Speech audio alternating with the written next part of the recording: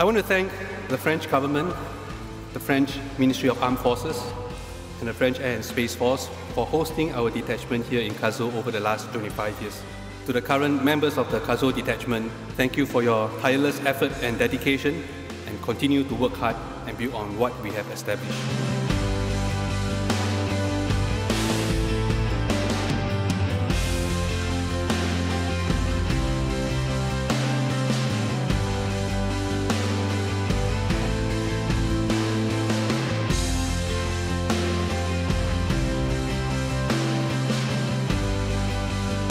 On this 25th anniversary, I thought it was very important for me to come here and thank them personally. And uh, there's a lot of warmth between uh, our RSAF uh, servicemen and their families who are here as, with uh, the people of uh, Cazaux.